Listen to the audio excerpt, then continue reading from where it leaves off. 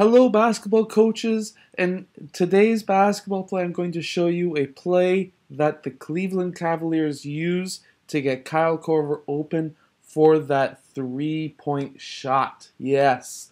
So, uh, well, first, who do you comment below? Do you think that uh, Cleveland's going to win the title this year? I think the Raptors are going to be able to make it to the finals, but I may be a little bit biased as the Raptors are my favorite team. My dream would be to have the Spurs play against the Raptors in the finals because that's the two teams that I love watching. Anyways, so in this play, we're going to have four and five set a double screen for player two. Two will roll off, and one will pass to player two for the three point shot. This is a very, very quick basketball play that you can use with any team that you coach.